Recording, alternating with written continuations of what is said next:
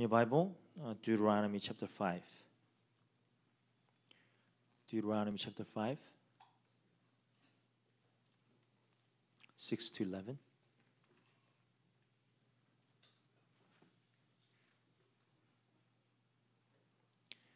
Deuteronomy chapter 5, 6 to 11.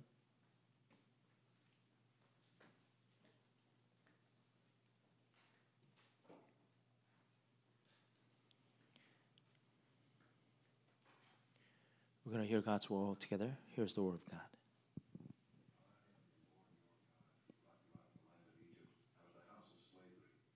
You shall have no other gods before me.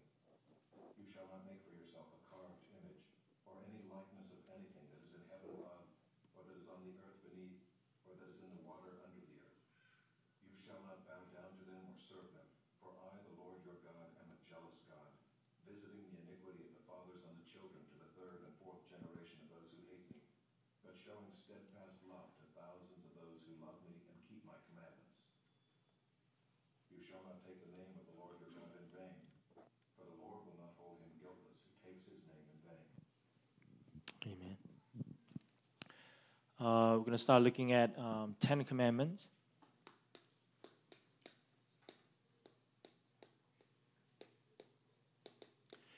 Uh, God gave this commandment um, through Moses at Mount Sinai. And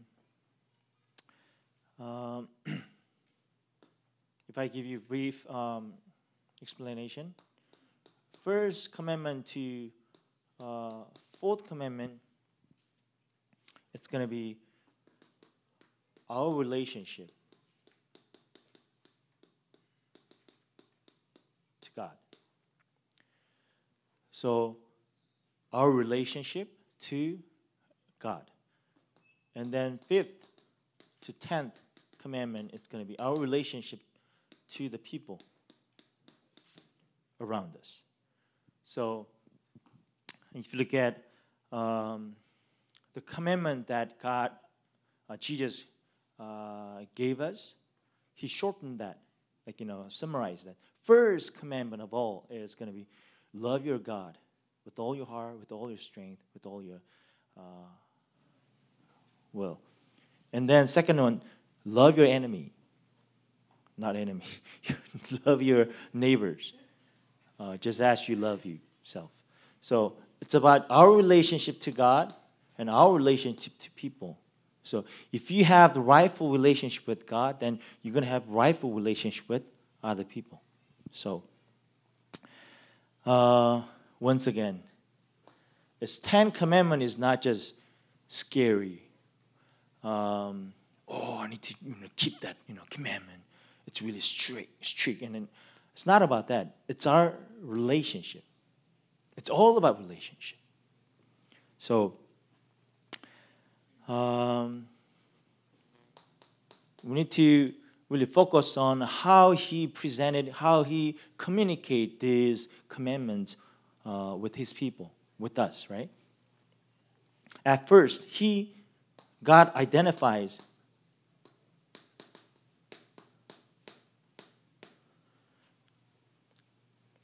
himself as the one who brought them out of Egypt.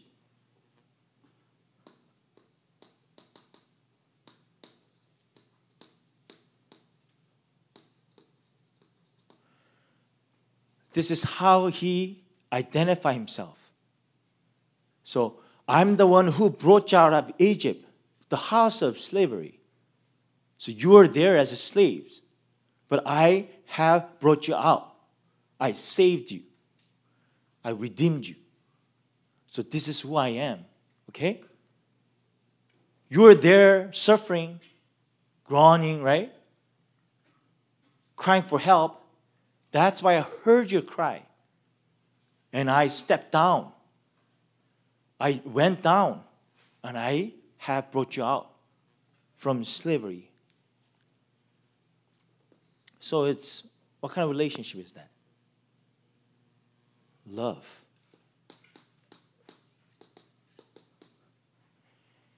Our relationship with God is based upon love. He wants us to be with us. He wants to save us from darkness, from kind of wondrous life. We were wandering around here and there, just like, like orphans. Do not even know where to go, where to be comforted. But God heard our cries, and He sent His own and only Son, Jesus Christ, to die for us, to pay for our sins. And that's the relationship that we have. Don't just take that commandment as some kind of duties. You see what I'm saying? So it's, it's based upon love relationship. That's his way of approaching to us.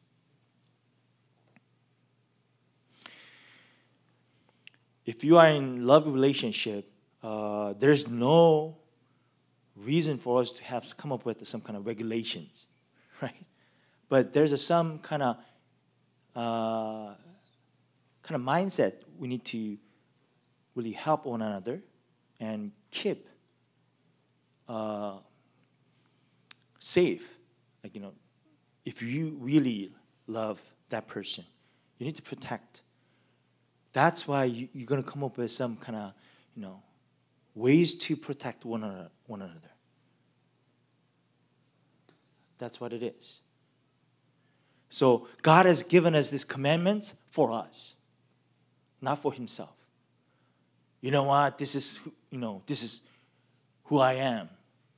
I created you. I saved you. I redeemed you. That's why you got to do this. You're my slaves. No, He's not saying that. You have duty to complete. Love relationship. He came up with this for us because He loves us. He wants us to know what kind of law, what kind of commandments that we need to follow and keep so that we can have rightful relationship with God and rightful relationship with other people.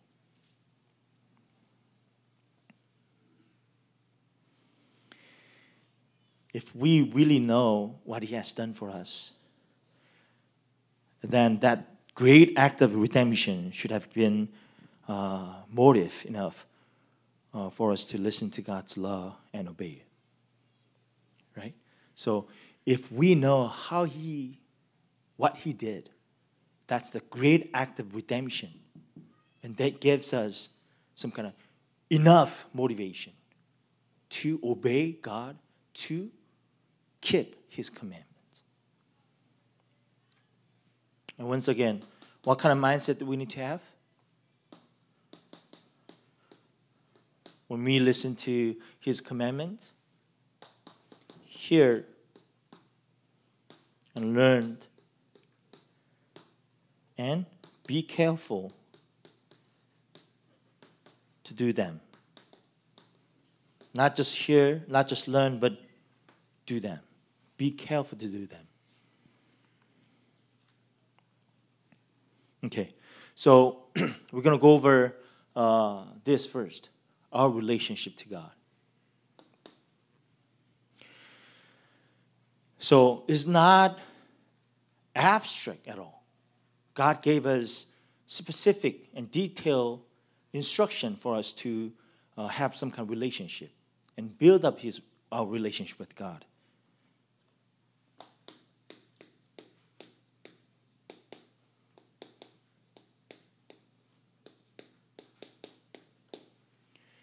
none but the one, one and only God.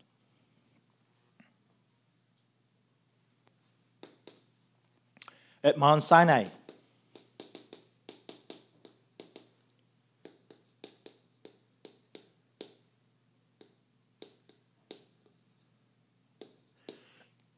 Israelites, the people of Israel, they married God.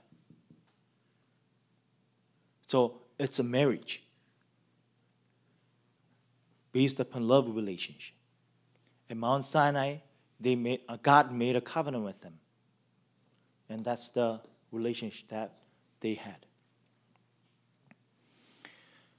It's a covenant center. relationship. So, um, I explained about covenant, right? Uh, if you keep it, blessing. If you break it, then curse. But if you really get to know Abrahamic covenant, the, the covenant that God made, that's the one side covenant. Uh, even though you might break that, I will take full responsibility because I love you. I know that you are so weak to keep all these commandments and laws. You know what? But I'm going to make the way for you to come back to me. That's a covenantal relationship, covenant center relationship. Like I said, unconditional.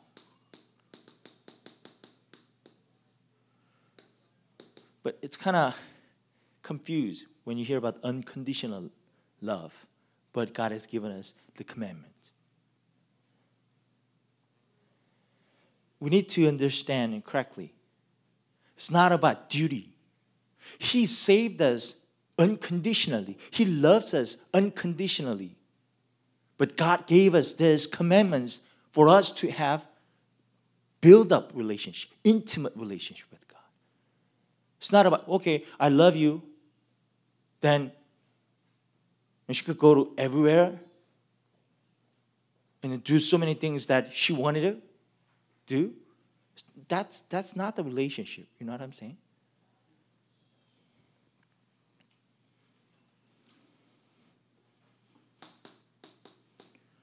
all the laws that God has given us is the laws that strengthened our relationship with God.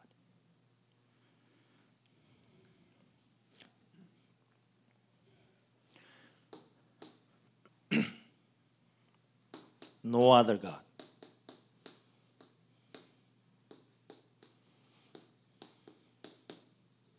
He said, No other God before me. That makes sense, right? If you marry God, then no other God. If you put someone else, if you put something else, then that's adultery. That's why God tried to explain our relationship with God as a marriage, husband and wife. So if you put someone else in between, then that's adultery, right? Especially uh, in pagan culture, uh, idolatry related to physical intercourse with a prostitute at the temple. So it does make sense for them. No other God before me. Don't try to look for something else, someone else. I love you. If you, let me ask, if you love somebody else, and that person is looking around other guys, other girls, how do you feel? Can you accept that? Is that rightful? It's not just, oh, she's kind of pretty, uh, he is handsome. It's not about that. Having intercourse with them. Do you, do you accept that? But we just take it really lightly. Okay, I don't have idols. I don't bow down before that. But that's not what I'm saying. That's not he what he's trying to say. That's the relationship distracting. So he wants pure love.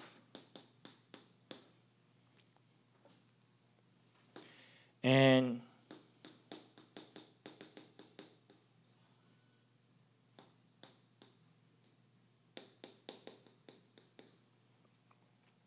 through Hosea, God tried to communicate his heart.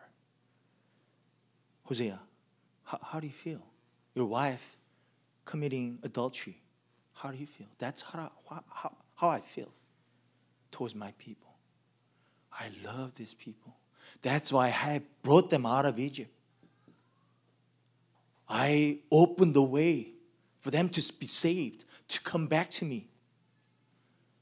But they are looking around, looking for some uh, satisfaction, their own satisfaction.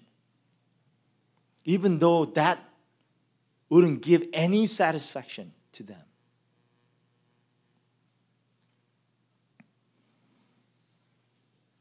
No other God before me. Meditate upon this. No other God before me. Uh, Pastor Sam gave us uh, some, you know, pictures, right? Ancient Near Eastern culture, they uh, have their own idols, like really tiny ones. But these statues will help you to uh, earn a lot of money and protect your health. So they had, you know, different, several, like tons of tons of, you know, statues. They rely on that. When they have some kind of problem with health, then they're gonna keep it and then pray and bow down before that. No other God before me.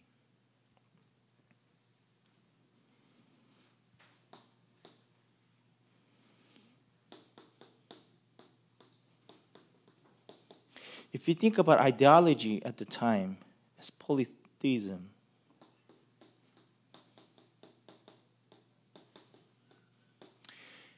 Uh, when they thought about God, it's more than one God.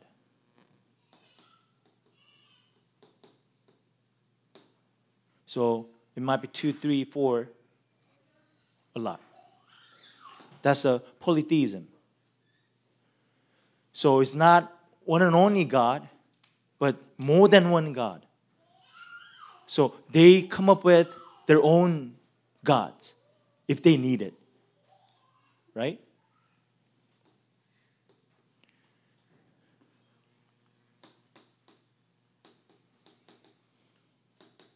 Pantheism.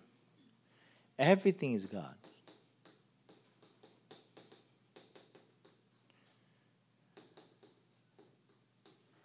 So you could mean put meaning in everything. Everything is it developed in that way. In these days, postmodern.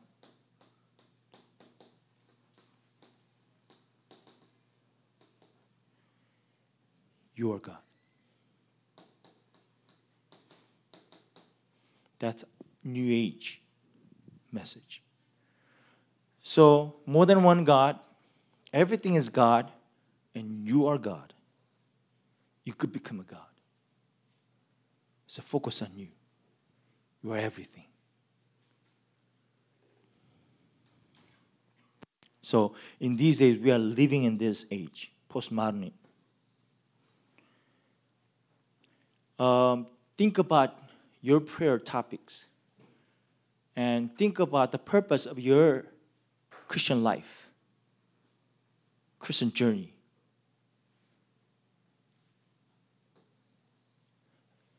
Oftentimes, it's all about us. Lord, what I want is this. I want that, I want this. Would you allow me to achieve this? Would you help me out to achieve this? It's all about me center. Even Christians, even people of God, they don't even know why. That's the ideology of this age, this generation. Seems like we are kind of worshiping God, but we are worshiping ourselves, using God.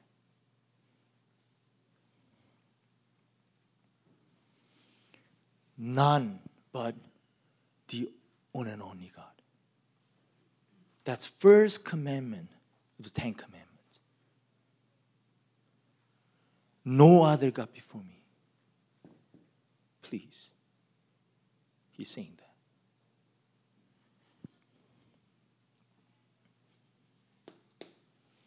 Okay. All of us might say that, okay, I, I, I'm clean with this. All right. I, I believe, I really believe that God is on and only God. There's no other God before Him.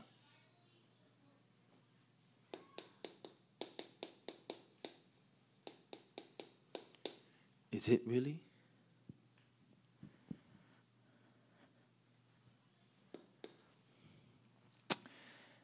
Um, like I said, the reason why God brought up this is because people of Israel at the time they knew God, the name of God, right? Yahweh, because He's the one who brought them out of Egypt, and they, you know, had some kind of uh, system uh, to worship Him, you know, something like that. But in their reality, in their reality, they rely on something else. Even though they might say that, okay, I believe that God is the one and only God. There is no other God before me, before Him. So I don't put anything, I don't doubt about His uniqueness. He's the only God. But in our reality, we carve some images. We come up with something else,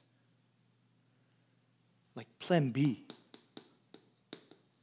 Okay, I believe in you, I trust in you, I pray to you, but plan B, hiding.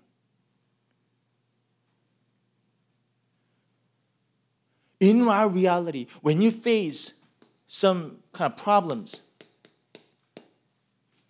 crisis, we don't go to God.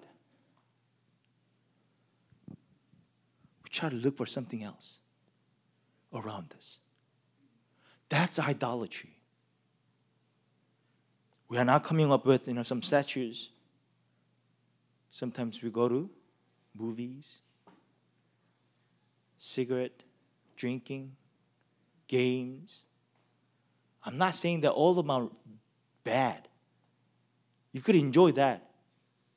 But in our reality, for our own peace, rest, satisfaction, we go to them. We are carving some images before God. So he came up with, you know, this commandment. He emphasized on this, right? it's kind of really, he's kind of playing around. Not playing around, and seriously, tried to communicate with his people. And he spoke out of fire, threatening them. And then gave this Ten Commandments. We might think that, oh, I already know. Why did he give these Ten Commandments to us? It is applying, still applicable to us. We have a lot of this, plan B. We have a lot of, you know, ways to deal with our problems on our own ways, right?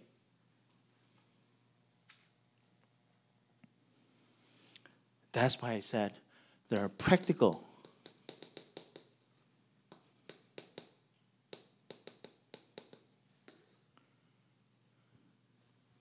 practical atheists which means even though we say that we believe in God, we trust in God, but in our reality, it doesn't seem like you know we believe in God.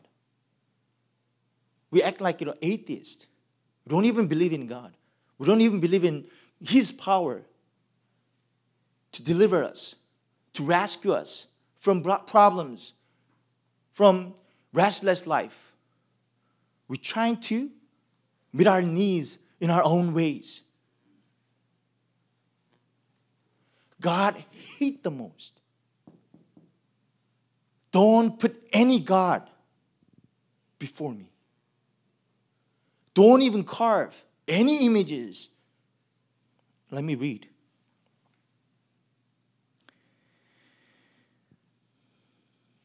Verse 8 You shall not make for yourself an image in the form of anything, anything in heaven above, or on the earth beneath, or in the waters below. He doesn't want anything from heaven above, beneath the earth, even in the water. Anything, any form. Which means at that time, you know, people of Israel, they came up with that.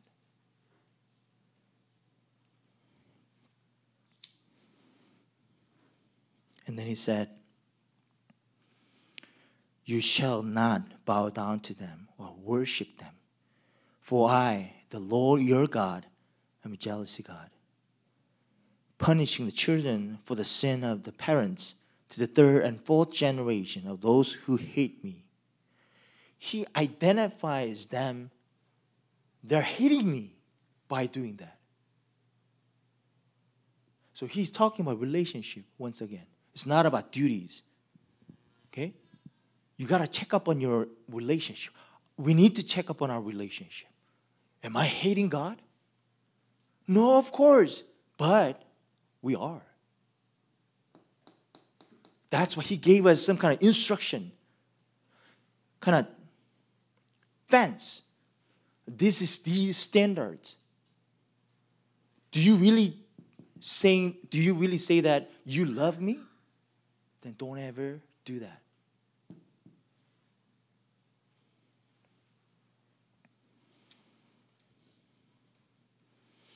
If you think about God, He gave up His own and only Son.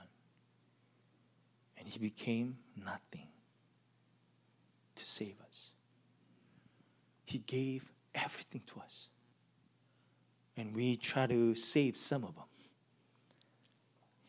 Lord, this is my life. This is my desire. This is what I want to do. Don't touch that. Of course, you know, I'm going to, you know, praise you. I'm going to serve the church. I'm going to do this. I'm going to do that. I'm a part of this team and part of that. I devote my life to you, but don't touch this area. This is part of my life. This is my desire. Some people say that, wait for me. I'll, I'll get there, but I want to enjoy my life right now.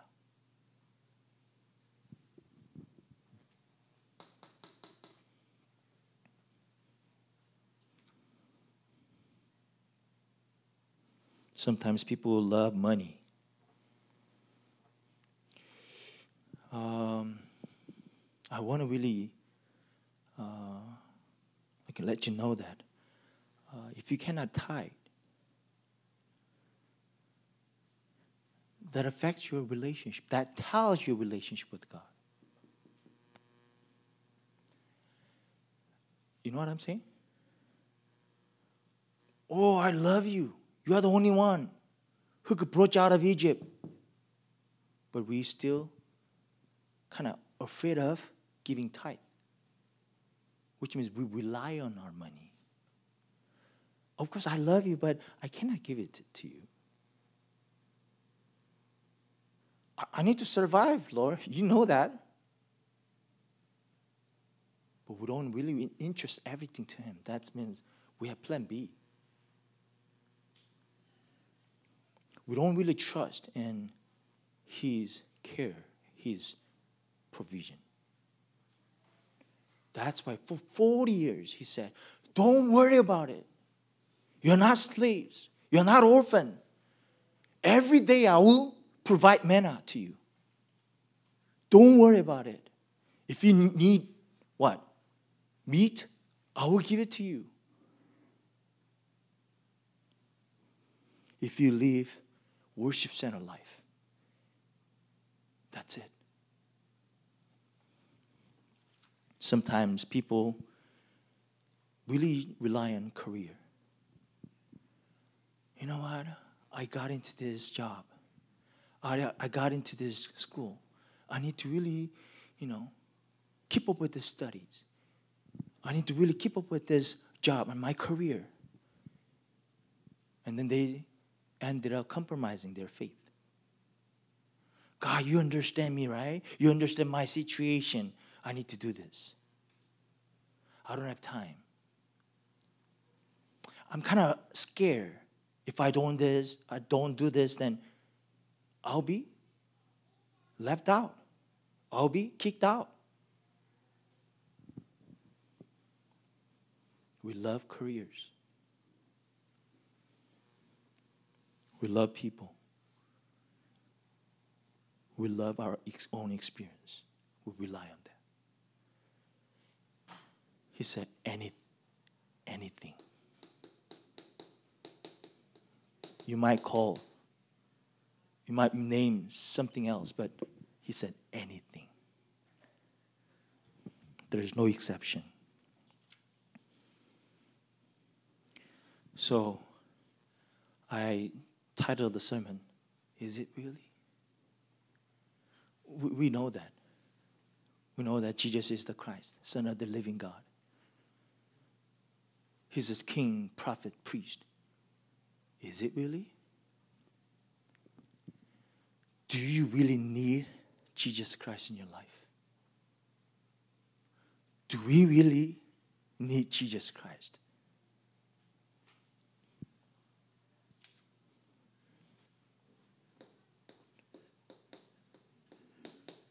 Who do you fear?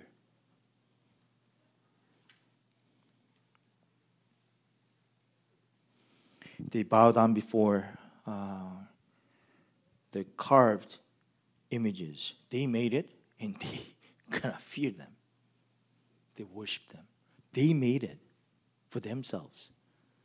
they bow down before that. Ridiculous, isn't it? People made the social system. We are kind of uh, limited by that. Man made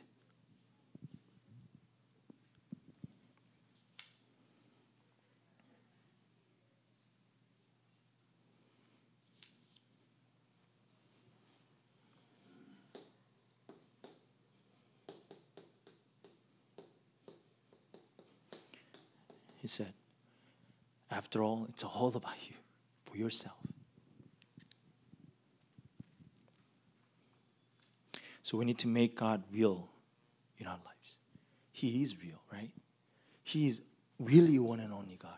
And He's really the one who brought us, brought out of Egypt, sin and curses.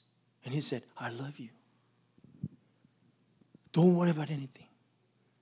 I'll provide you just come to me and you're gonna living, you know, you're gonna drink the living water. You're not gonna be thirsty again. All the waters, fake waters out there, you will be thirsty again, but living water will not make you thirsty again. I am here with you.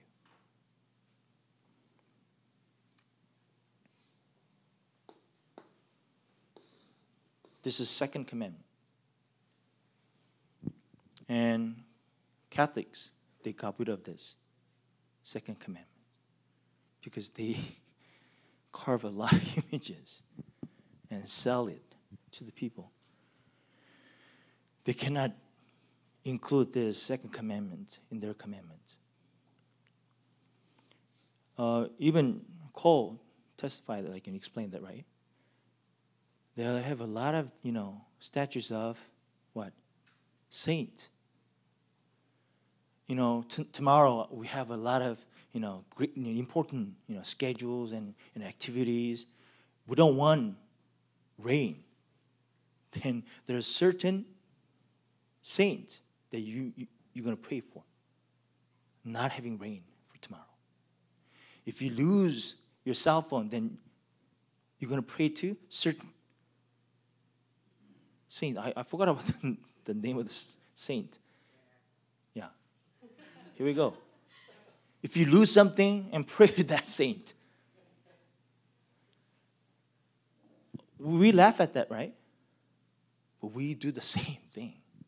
We don't have saint, but we don't we have something else, someone else.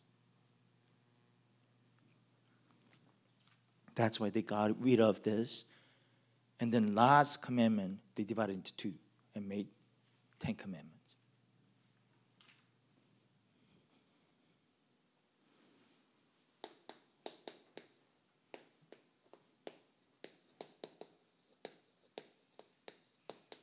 He's asking, even before the world?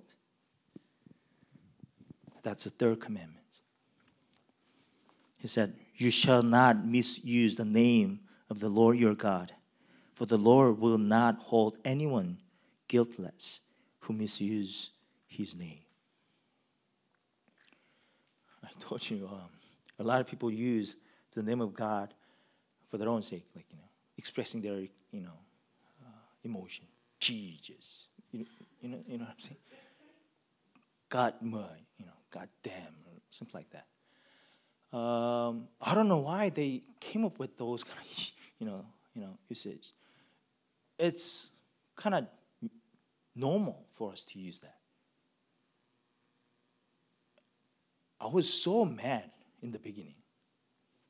How could they use my God, the name of my God, in that way? Jesus Christ. What is that? We don't feel anything about that. Think about it. If someone else used your parents' name in that way, we feel so bad, angry, right? But we don't get angry towards that, the name of God. His name is on the ground. People step on it.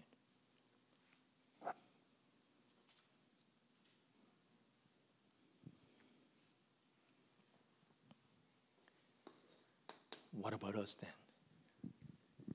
Are we really using his name in a proper way? I mean, are we honoring him before the world? Do you really acknowledge me before the world? Before people? Like I told you, even though I got saved, um, I really, you know, received salvation. And I had a desire to share the gospel, but I was kind of shameful to pray before meal when I was in high school. And then I, you know, try to, you know, take it my lunchbox, and then I pray, Lord, thank you. then I ate. Um, it's kind of one of the examples we are kind of hesitate to bring up the name of God and the gospel. What if, you know, he act react like this or she react like that? What if she or he thinks of me some kind of, you know, jerk or something? If I talk about spiritual reality, if I talk about the name of God, if I talk about the message of salvation,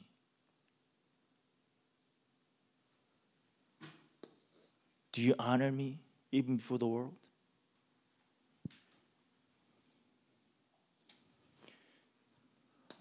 We need to get mad when we see people abusing, misusing the name of God. Think about media. They are doing so many stuff abusing the name of God. And people of Israel, people of God, and Christians, remnants, don't have any grudge against that. Lord, let me change the flow of this culture. Let me change this spiritual flow. You have given me this, you know, talent and skill. Let me be used. We don't have that desire. We don't have that passion.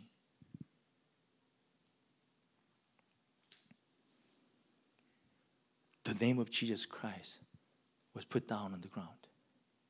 We gotta raise the banner of the gospel as children of God. We need to restore the authority of the name of Jesus Christ. You know what? Satan, he, you know, he's afraid of the name of Jesus Christ the most. When you speak the name of Jesus Christ, then Satan will be bound. That's the name of Jesus Christ.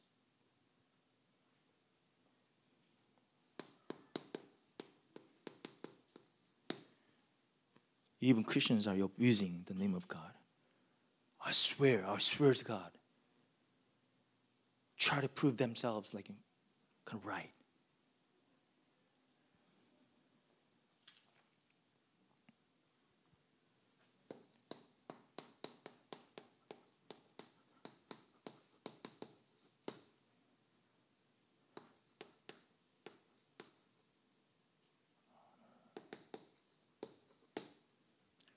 we need to acknowledge we need to acknowledge and honor God even before the world, even before the people.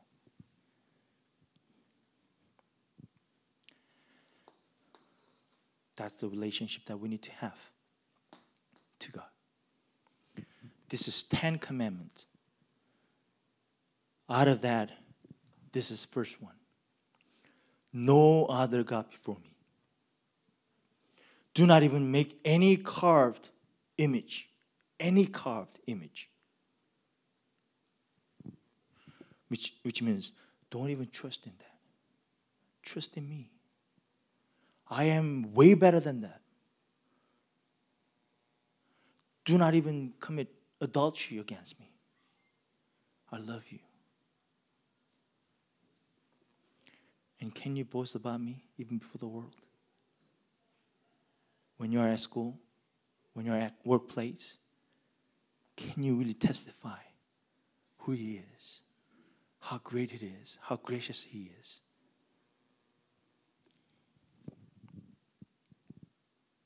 I think this is great um, kind of standards that we could check up on our relationship with God. Uh, this is not just um, rebuking people but awaking our soul. Right? What am I doing? If we don't have like a standards, then we, we don't even know that we're whether we are wrong or right, left or right. If there's no zero point, right? This is zero. And this is plus and minus. If we do not know this, then we don't even know where we are here or here. Sometimes our relationship with God, it's abstract, right? So this is great in a system that we could know what kind of relationship that we have. Do I really believe that? His love, and we don't put any God, any form of God before Him? Am I really Christian? Am I really believe that? Believing that He's the only one. I'm not going to rely on any, anything, any form of um, help. I'm respecting God. I'm acknowledging God even before the world. I'm not going to use the name of God uh, for my own sake. Uh, we're going to continue to uh, think about Sabbath next week. Uh, that's the uh, another system that God has given us to really check up on our relationship with God. So let's pray. Once again, before he, you know, uh, proclaim or share this uh, commandment, he gave us the message of city a refuge. If you think that you kind of you are not in a good shape spiritually, run to the city of refuge. Run to Jesus Christ. He's going to save you. He's going to transform you. He's going to heal you. But at least we need to know that we are sick. Other than that, we're not going to feel that we need doctor. You know what I'm saying? We need to know that we got disease. That's why we need medicine. That's why we need doctor. Jesus said, doctor is for sick people. and Jesus came as a doctor. So we need to really know, acknowledge that we are sinners. We're not doing all this. We even broke this covenant, commandment, every time, every moment. That's why I need Jesus Christ. That's why I need His blood. So after receiving, you know, this message, don't condemn yourself. Don't judge yourself. Go to God. Go to Jesus Christ. That's the gospel. God is not trying to condemn you, rebuke you. No. He's trying to show you where you are. Run to me. Run to me. Here I am with wide open arms.